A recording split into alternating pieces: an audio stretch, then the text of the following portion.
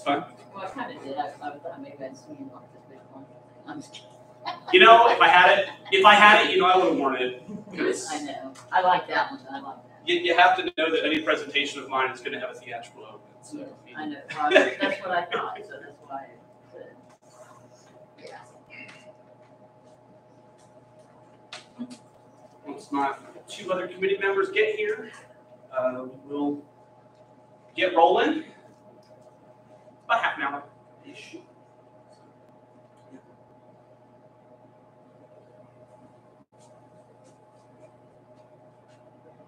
On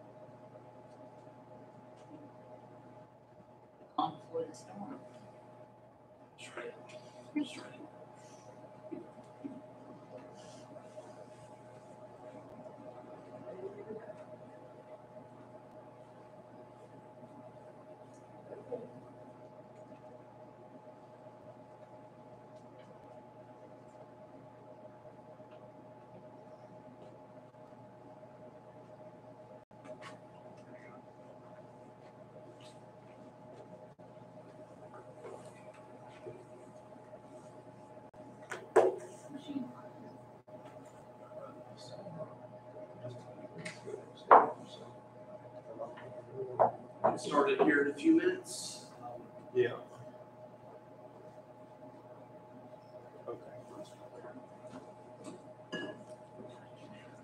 Okay. Okay. You can sit wherever, wherever you are. Okay, so I, I have one request here. I have one request of all of you here. Uh, listen, so the camera is set up because my mom's on the other end. I need you all to make me look really good. Just make me look really good. So just just so we're clear here. all right, so it's should we, Yeah. should we get going? Okay, yeah, we can do that. Okay, well, thank you, everybody, for showing up today for James' uh, thesis defense, James King. He got his undergraduate degree here in, in geography. No, geography, geography, yes. And then he did a little stint in history and then came over to geosciences. And he's, he's been interested in space for a very long time, as you can see from his outfit, his, his um, science officer outfit. One might say my choice of attire is uh, logical. Okay. So, he's going to talk about uh, asteroids and remote sensing. He's going to begin with a little bit of history, and then he's going to move into uh, some uh, basic image processing of some of the images from some of the, the orbiters around Mars and some asteroids, and then a big surprise at the end that I won't give up. So, thank you. all right, you're welcome. Thank you. So, uh, thank you all for being here. Yes, this is uh, my master's thesis on improving asteroid remote sensing by utilizing past Martian methods. Uh, so, before we start, um, let me turn this on. Get there. All right. So, thank you all for being here. Uh, but we're here to talk about space. Uh, if you're if you're here and you know me, you know there's an element of theater to everything I do. So, uh, I've tried to make this not only as educational and informative, but also as entertaining as I possibly can, because you're going to have to sit here for about half an hour uh, and hear me drone on about space. Hear me drone on about space. So, uh, let's start with an introduction to how I got here, because I feel like every voyage starts with a single idea or a first step. Uh, I started looking at Triton. If you are unfamiliar with Triton, Triton is a moon of Neptune uh, that I thought was exceptionally cool because it has ice volcanoes. That's going to sound uh, pretty weird, but it's very cool. And it was something I looked at, and I talked to Dr. C about this, and I was like, wow, this is a great idea. And the very first thing he said was, show me the data. Just show me the data. Uh, well, I couldn't. Uh, there was only Voyager 2. Voyager 2 back in, I think, 1986 was the last data set I had from Triton. Uh, so I had to continue moving on and trying to refine my idea. I knew I wanted to do something about space. Uh, again, as you can see my choice of attire today, uh, I've obviously been influenced by things in my life. So I started having some evolving ideas. And I started looking at other bodies outside of the normal uh, region of space that we come to know. So uh, before we continue, I also want to drop a definition here. If you talk, if you hear me talk about deep space, uh, deep space is in reference to anything that exists outside of the realm of Earth and, the Moon. So deep space is anything that exists outside the realm of the Earth and the Moon. So when I refer to deep space, uh, this is what I'm talking about. So I eventually came up with Dawn. And Dawn was a probe that was launched back in 2007 by NASA and was sent to study the two largest bodies in the asteroid belt, which were Ceres and Vesta. Ceres and Vesta. Uh, Vesta, of which you are going to hear much about as I continue through this. Uh, this is Dawn, by the way, satellite. All right, so I had to address the problem. And as I went and I looked at the amount of orbiters, the amount of missions that were launched into space, I noticed that there was a bit of a disparity.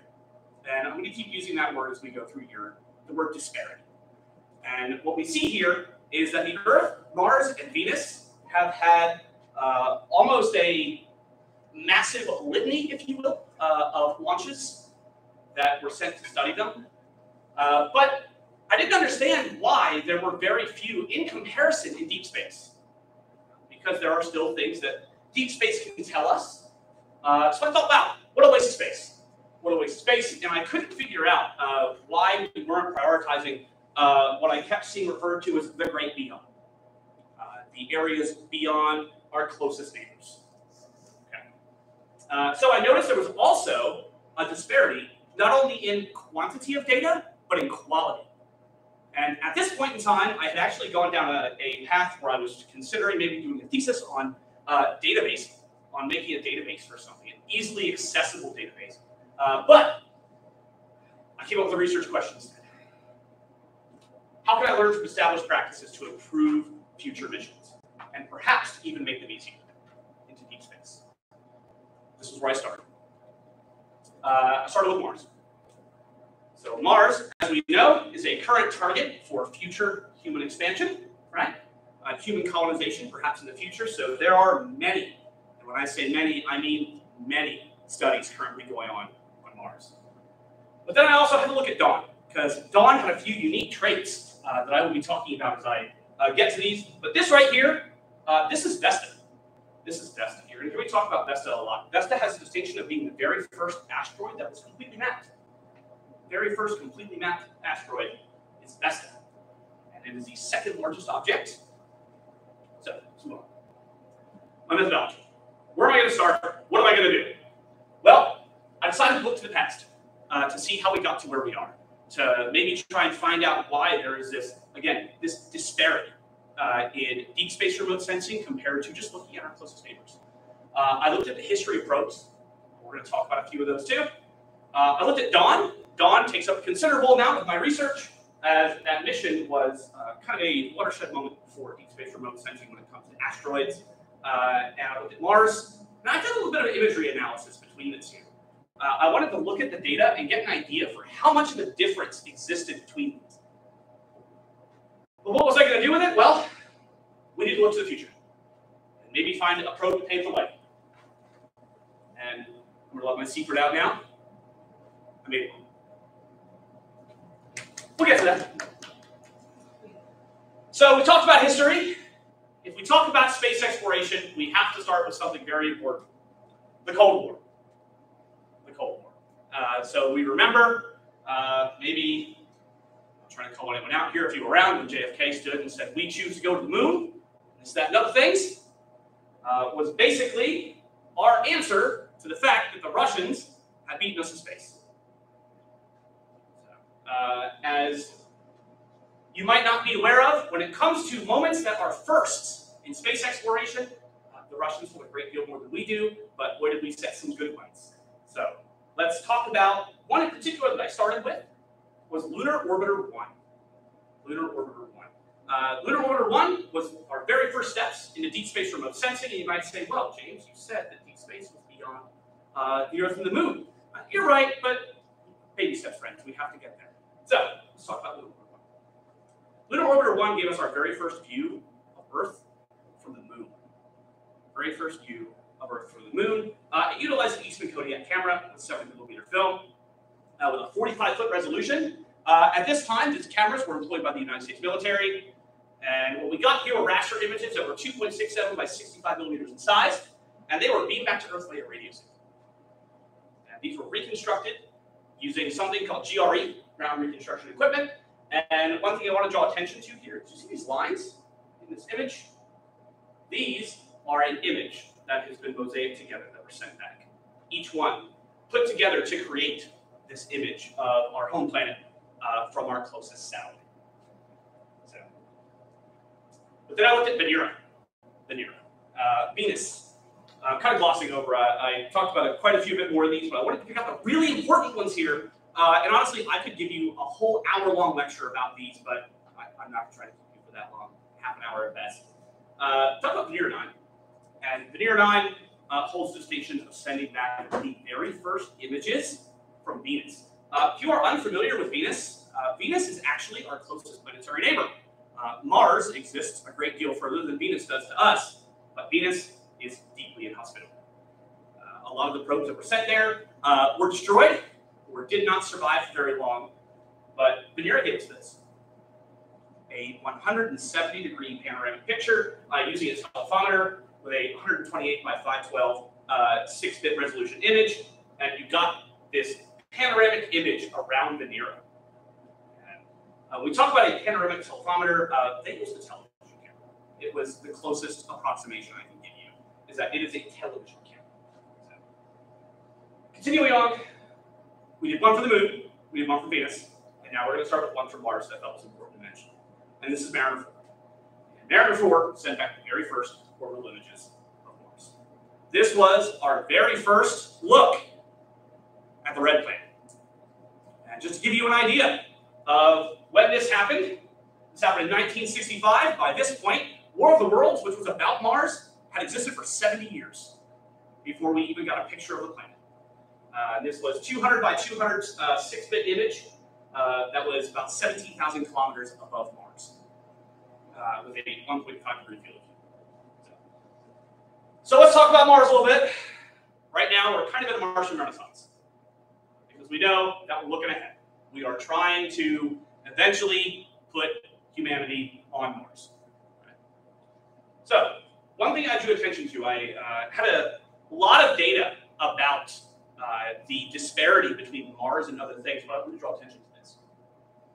This is the amount of active missions every year around the red planet. As you can see, they have only increased in scale as we have gotten uh, further along this 24-year uh, gap here, 24, 25 years. Uh, so to give you an idea, uh, there are roughly, I think right now it's 13 active missions around Mars at this moment. That's just Mars. Why aren't we looking beyond? Well, let me set another, uh, give you another idea, is that while there are 13 around Mars. Does anybody have a guess how many there are in the solar system outside of Mars and Venus right now? And Earth? Anybody want to take a guess? You can't, you know. What's it?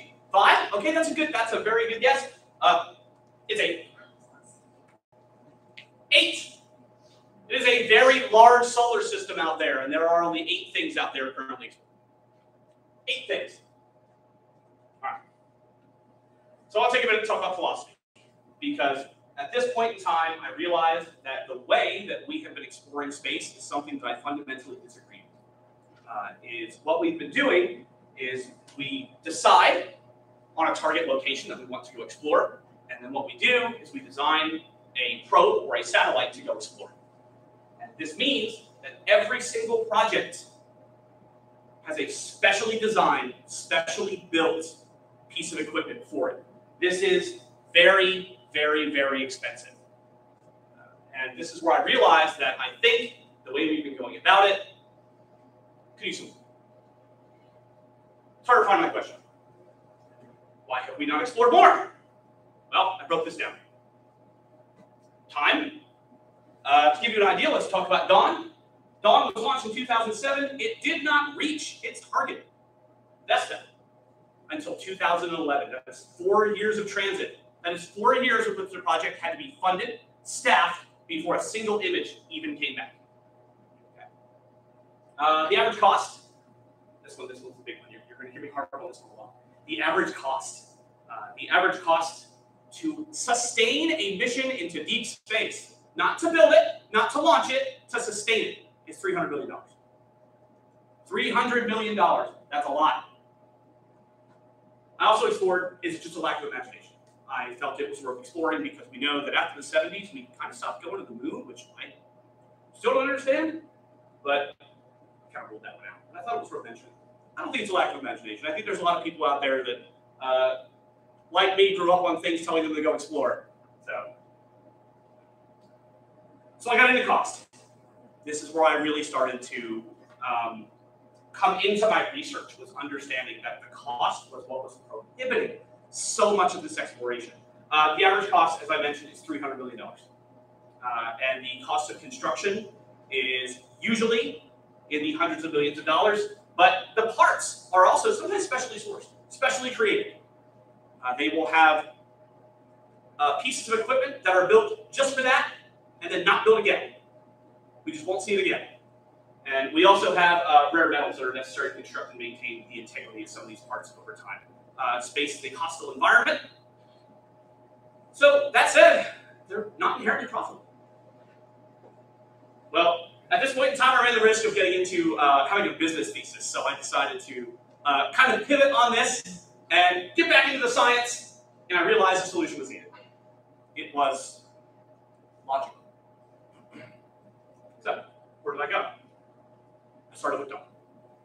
So Dawn was launched in 2007 uh, and was created to study Ceres and Vesta. Created to study Ceres and Vesta. Uh, and this actually utilized some experimental technologies. We talked about how some of these technologies were built specifically for some of these, and this utilized an experimental xenon ion engine. And that might sound like some science fiction stuff, and it actually is really kind of cool. Uh, this is an engine that takes xenon gas and ionizes it and very slowly pushes up back in the spacecraft. And once it is up to full speed, it can move to its target up to eight times faster than previous spaceflight methods. Uh, and it also used hydrazine thrusters uh, for maneuvering, which was a fairly new technology. But this one, this one, we're going to talk about this. This is the framing camera. The framing camera. Because at its core, my research is about remote sensing. So I looked into a lot of cameras. I want to talk about the framing camera that's created by a German company but it eventually reached Vesta in 2011. And I believe this was maybe a bit of a, a personal uh, thought here. This is the current benchmark, I think, in deep space remote sensing. It completely mapped an entire uh, extraplanetary body. Uh, it gave us a lot of information that we previously did not have and opened a lot of doors for future research. Uh, the camera itself covered bands from uh, red, green, blue, RGB, if you can say that from here on out. NIR is the infrared, IR, infrared, and UV, ultraviolet. Uh, and again, it's created the first complete map of an asteroid. So let's talk about the framing camera. I like this thing. This is neat. Uh, the sense of scale is a little bit off here. It's maybe roughly like two feet tall. About two feet tall. Uh, and it was a dual-mounted radiance capturing uh, framing camera that it did have two shutters uh, that closed to help protect it during flight. Uh, and it was roughly 5.5 kilograms per camera and utilize the 16 to 32 bit uh, bit rate compression. You will note from here on out, I will actually start drawing attention to weight. Actually, start drawing attention to weight because as we get to uh, the secret that I revealed, uh, weight became an important factor as I researched how to build this. Uh, but I also into focal length. Uh, so it's 150 uh, millimeter focal length with a 4.5 5.46 degree aperture. And it does measure various wavelengths uh, from RGB, and IR, and. Uh, and it averages roughly 16.5 meters per pixel, and this varies uh, with HAMO from here on out has a high altitude mapping orbit, and LAMO is a low altitude mapping orbit. And this was created to map uh, geologic and geomorphological features uh, to help chart things that have occurred on this planet. This is Vesta. This is uh, the, as I've come to call it, uh, the lumpy potato. So if you take a potato, just just like pull a potato out of a bag, there you go, you've got Vesta basically. Uh, it is this, uh, it is not a spheroid like Ceres. It is this oblong kind of like uh, deeply oblate object. Uh, and this is an image of a mosaic that was taken that is roughly 21 meters per pixel here. Uh, 21 meters, the resolution on that, if you're familiar what is considered at least decent spatial resolution, that's not great. Uh, it's really not great. So. I decided that to get a good image, a good um, analysis, a good analysis to compare to a better camera or another camera, I needed to get as close as I possibly could. So I looked at an area called the Domna region. And this was taken during a LAMO, uh, a low altitude mapping orbit, and it's roughly 12 meters per pixel. Well, looking at this image, I was like, okay, well, I have this image. What can I do with it? What can we possibly glean from this image? What can we take from this? So the very first thing I did, so further noise reduction, I smooth it out a little bit, make it easier to use. Uh, so what we have here is the image. It's fine. You can like gaze at it lovingly like I did for days upon days upon hours. It's cool. All right. Then I conducted a slope analysis. And a slope analysis tells us how extreme some of the topographic features are. So it gives us an idea for what we're looking at, for uh, how varied uh, that the surface actually is. And after I did that, I decided just a little bit further. Uh, I decided, I was eager to imagine for this, by the way. Uh, what I did was I created a chart, and this chart right here uh, charts the slope and where the pixels on what slope they are, what slope they are measured. So this looks like a hot mess. So I made it a little bit cleaner. I smoothed it out, did a statistical analysis, and the average slope of that image is roughly 61.45 degrees, which that is very varied. Very varied. All right. So what does Dawn teach us? What does Dawn teach us? Well, the good. Uh, surface features of asteroids. We completely mapped an asteroid. How cool is that? Uh, but it also teaches us the composition of extraplanetary bodies because it was sent out to help ascertain what it was also made of. Uh, but it also helps flesh out the events that took place during the formation of our solar system. And asteroids are the remnants of bodies that have been left over from the creation of our solar system that have gone into orbit uh, between Mars and uh, Jupiter. But the bad, temporal resolution is not great. Temporal resolution is not great. Vesta was not there for very long. So an idea of do these features change over time? Uh, does this change take place over long periods of time, short periods of time? It's very difficult to ascertain. Uh, so also any knowledge outside of the mission profile would be very difficult to find. Uh, also, we haven't been back. We haven't been back. And as far as I know, there is absolutely no current mission slated to go back. So there's that. But let's look at the opposite. Let's look at HiRISE. HiRISE. Uh, so HiRISE is attached to the Mars Reconnaissance Orbiter, and this is, uh, uh, as my advisor and I have come to talk about some of our uh, cameras, we, we talk about them in expensive cars. Uh, this is this is the Rolls Royce. Uh, this this right here is very good. HiRISE. Oh, too far. Uh, HiRISE is, to give you an idea, I'm actually going to show you a comparison here a little bit. Uh, this is like spy satellite level. Uh, this is down to 11 inch resolution. And this is better than a lot of the uh, civilian data you can get uh, here in here on Earth. You look at things like uh, Sentinel and Landsat, it, it doesn't compare. It doesn't compare. The great part about these is they are freely available online, uh, which also added another thing. We're like finding Vesta. Uh, the last images from Vesta were from 2011. Uh, I found an image from March 1st. And then I went online later and found an image from March 5th. And then an image from March 7th. Uh, if you're getting an idea here, I talked about temporal resolution. This is amazing. This, this has been taking pictures of Mars for a long time. We look at things, we go back. Uh, I chose a random, I chose a random swath to get a look at. And I chose this one in the northern hemisphere of Mars. And yes, this image was taken last month on another planet. Want to see how good the imagery is? Holy crap, it's good. Uh, so this swath was taken by the University of Arizona to um, measure Martian gullies, which is something I was looking into during this research. Uh, so I put a chart together to compare these two sensors, the Dawn framing camera and HiRise.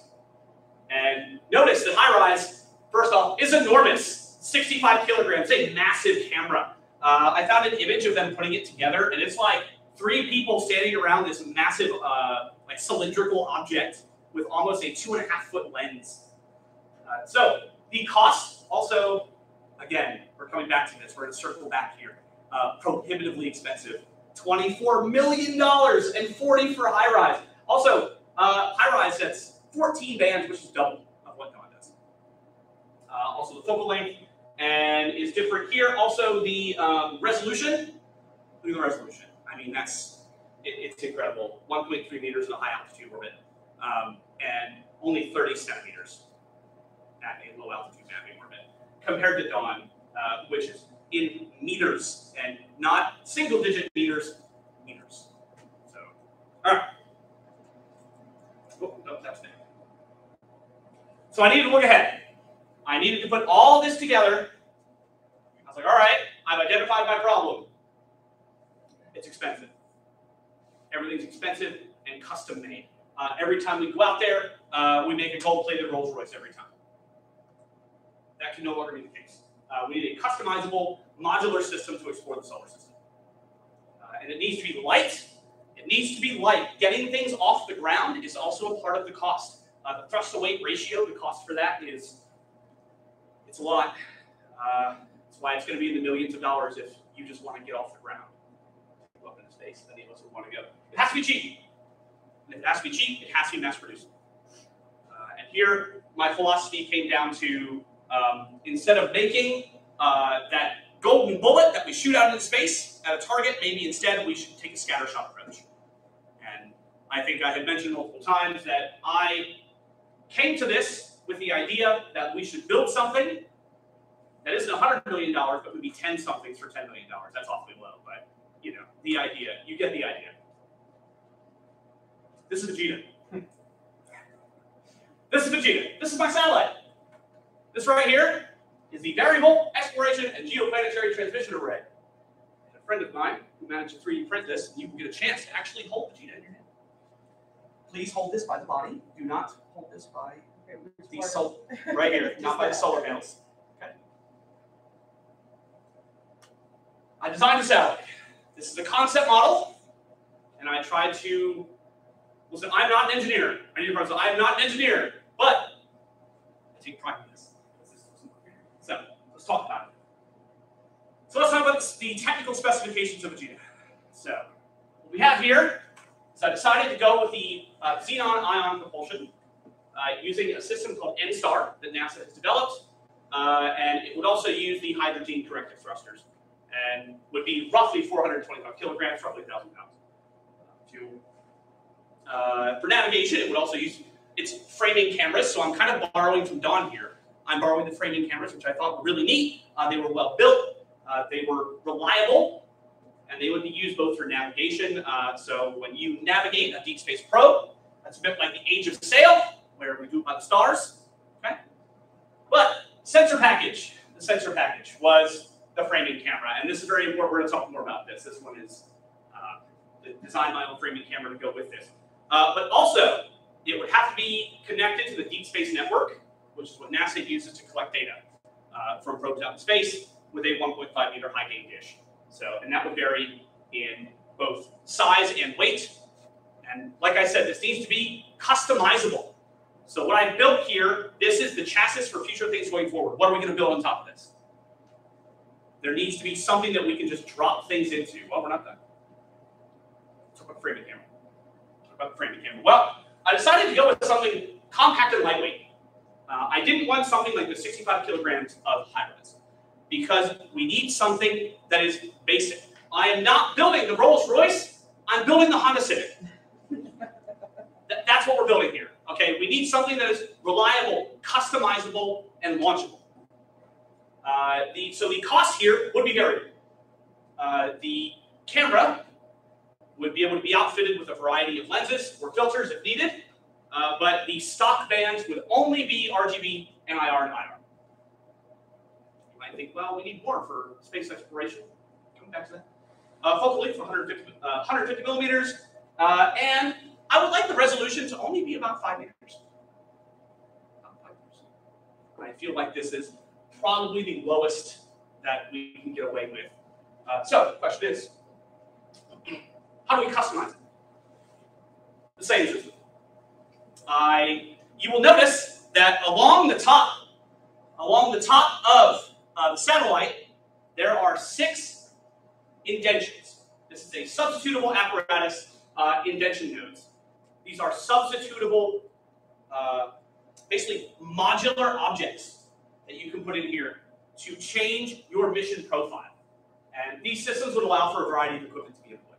So uh, one of the things that really caught my eye and when I started with this, my first idea for this was looking at Rapid Eye. Uh, Rapid Eye was a series of satellites that were, uh, we've referred to them as uh, the bread box. It's the bread box, and there were a few of them that were in a network that traveled around Earth taking pictures at various points in time. Uh, where that would probably what, if I were to have to build one of these right now, this is where it would start. Uh, and this is where we would get into Vegeta being a transmission array. So what it would do is it would collect data from all of the little uh, satellites and cameras that were rotating around it and allow it to transmit back to Earth. So it would do the heavy lifting instead of having these small little red boxes do. Uh, idea, let's take a look at it. So this is the top of Vegeta. So we have uh, the sensor package module will be right here. Uh, the front-facing camera, so this will be my framing camera. And then my deep space uh, network transmitter would also be on the top. And each one of them, you see the indention nodes, substitutable apparatus indention nodes, and it would run off of a photovoltaic array to help keep it powered during flight. And it would also have a rear-facing camera, and the xenon ion thrusters would be on the rear.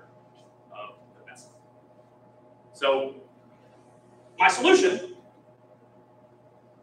my solution was that deep space remote sensing needs to be customizable and it needs to be modular.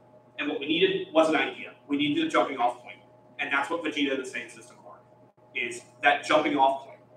And this would be the current model. Uh, this would help turn an unsustainable current model of launching a golden Rolls Royce every time we want to explore something into something more affordable and simpler. It's important. I, I really feel like one of the things I, I wanted to talk more about, I had a couple times, was the importance of space exploration for us and understanding what is around us and why exploring the solar system is important so we can understand uh, how our solar system formed and also what the future might hold for us.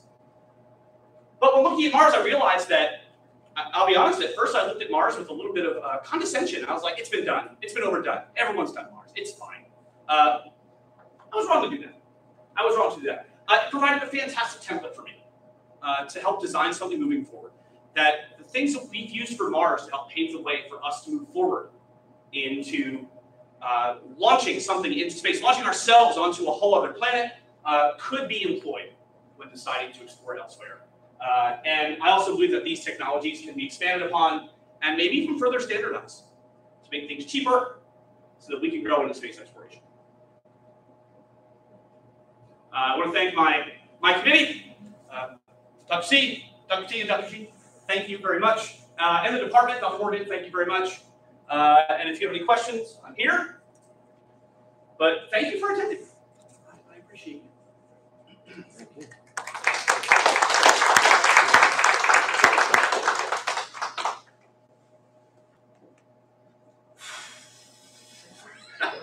Dana! Um, the Xenon I'm, Yes. I'm not familiar with that, so, uh, school me a little bit on where's that come from? Right. Um, Like, what is, how much do- of that do we have? Okay, we're, we're going to get into the James is not an engineer, but uh, I'm going to tell you that it takes compressed xenon gas and jets it out the back uh, in a very steady stream, helping it uh, slowly accelerate. Uh, the acceleration is actually incredibly slow. Uh, I think if you were to try and go zero to 60 on a xenon ion thruster, it would take you about four days. That's the one, one statistic that came across. I was like, well, that's neat. So it takes time. It has to build up. It's built for those long missions to take it nice and slow. So, But, um, elaborate a little more. It's, it's more common now. Oh, for the for the xenon ion engines. Uh, so they can get you a lot faster. So while it does take you a long time to actually uh, build up that speed, once you hit it, you can actually achieve uh, a shorter mission duration because we talked about the uh, how the missions, the mission time was a factor in the cost as well. Four years to get to Vesta after launching it. It's, you know, it's a lot, but without that thruster, it might have been. So, uh, does your question? Uh, how long does it take to map something like the, uh, Ceres in Vesta? Uh, Vesta is Vesta is very small. It took three months. Yeah, it took three months for most of high altitude and low altitude mapping. Uh, whereas Ceres is a little bit larger. Uh, to give you an idea for scale, so the moon, the moon is about the size of New York to Las Vegas, right? Uh, Ceres by itself is maybe about the size of uh, Ohio and Pennsylvania. Uh, Vesta is maybe a little bit of Pennsylvania, It's not very big. So if we wanted to map something larger, it would take more time. Thank you. Dr. G. How many sensors is on Dawn and HiRise comparing together? How many uh, sensor and detectors? Okay, I know that um, Dawn was launched with the gamma ray detector. Uh, they also had the uh, space dust. They were measuring space dust, and they had the uh, optical sensors. Uh, I believe Dawn is, uh, sorry, uh, HiRISE. I have to check my paper again, but I believe HiRISE is the um, the visual camera, and I know that the Mars Reconnaissance Orbiter also has like more gamma ray detectors for radiation and such. Uh, but I think that's HiRISE. I'll say it should be correct. Yes. Thank you for this, this was fascinating. Okay. Um, and dredging back my, I, I, as, as you may know, I do actually have a couple of degrees in space engineering that are Oh. twenty years out of date at this point. That's so cool. Yeah, so we, we might, I mean, everything that I did is way out of date at this point, but we could still talk about that next. time. Yes. Dig up some of my old books and stuff that might have some, um, engineering designs and stuff, maybe hiding in my, my mom's shed or something like that I can pull out for you, if you intend on, on continuing this. Uh, I, I think that you should. Okay. Yep, and, and you can maybe tell us a little bit more about your future plans. Um, but uh, dredging up some of this ancient uh, space engineering uh, knowledge, um, I'm wondering about the customizableness of, of the data for different space sections. Yes. Um, because uh, one of the reasons why uh, every different space probe has to be so very differently designed is because, as, and in part because of the complexities of actually getting there. Yes. So it takes a, a great deal of computational power, a great deal of, of, of orbital mechanics knowledge um, to figure out how you're going to get things to places. One, obviously, that's why that's going to be so hard for things to make multiple flybys of asteroids. Yes. Because getting it's not as easy as turning around and going back. Yeah, you, have to like slingshot around other bodies to get there. Yeah, Yeah. And, and part of that is that each of these missions has completely different fuel needs. And Okay. the more fuel you put on, it, the more weight you need, so the different Yes. requires different sizes for your, your deep space probe. Um, so I don't know that much about the xenon ion, engines for this. I think it might have been more recently developed than, than my education. Um, but have you taken that into account in, in designing Vegeta and will this actually be able to swap in different necessary fuel loads for the Okay. Uh, the answer is yes. Uh, one of the things I came to this with was this is not the be all end all of the mission. Uh, my philosophy here again was that that scattershot idea. That we instead we choose a variety of targets and we go scout those targets, uh, and they would be scouted for future exploration. So we would get a cursory knowledge of the body and then send out something more specialized, uh, instead of having to put all of those needs on one single spacecraft. So this, as far as customizable for fuel, I feel like that. I again, I have to say I'm not an engineer, uh, so I'm not sure how that would uh, adjust the body of the spacecraft, but the design philosophy, if you will, is uh, really what I'm championing here. Yeah, I, I, I think that that's great and that I think if you are intending to continue this, partnering with some engineering firms, that's, that's step to get there. If I had more time, I know for a fact I would have um, gone across the across Pelham Road here and been like, "Hey, uh, engineering department, can we talk? Uh, could we have a discussion?" Um, that's that that is a future. You. Yeah. Yes. You make a very compelling case for the need to reimagine our space expeditions in general to make them more sustainable, Yes. right? And you just spoke about that in your response to the previous question. I'm wondering then about Vegeta, your, your Honda Civic of space. Uh, can you speak briefly to the potential applications of this and their role in society writ large? So when I looked at designing a modular spacecraft, that was actually like the first two words that came up when designing my satellite. Uh, was it had to be modular. So when it comes to the mission profile, I guess that's what that's what we should really boil it down to. Uh, the mission profile for Vegeta should be a lot less narrow uh, than what we currently have. Uh, it would be about we send these things out and we can adjust uh, with my uh, system, with the same system, we can adjust what we are looking to find, uh, what we are looking to um, further explore, because this is not supposed to be the end point. This is the beginning. If, if anything, and I think maybe something that I should have been a little bit more um, clear about, perhaps, was that it's basically taking us to a two-stage, uh, a two-mission stage, if you will, uh, format, where we go out, we scout it first. Uh, we send equipment out with it that is fit to be scouted. So your mission profile for Venus will be different than your mission profile for Mars, uh, especially for Jupiter or any of the moons around it. So it should be adjusted, and then after that, we get into okay, what do we want to do with our information? How do we want to keep going? Uh, what equipment should we spend with the next expedition, with the next uh? If I've answered your question clearly enough. Okay.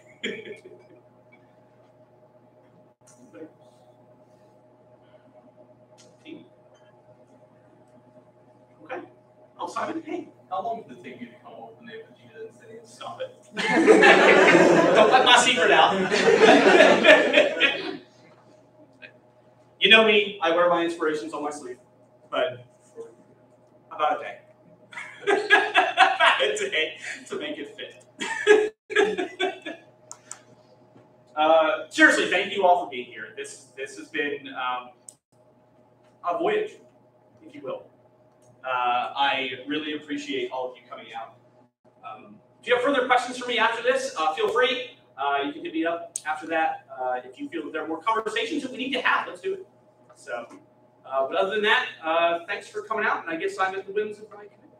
Yes, you are. All right. Okay, thanks again. Okay.